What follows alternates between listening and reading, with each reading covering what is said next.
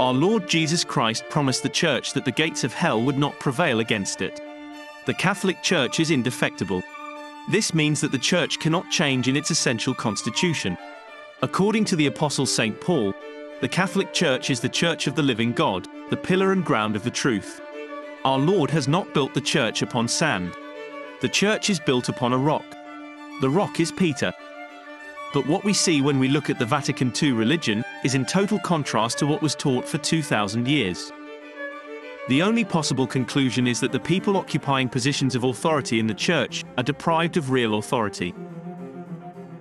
Do not forget that our Lord has warned us very clearly about false shepherds.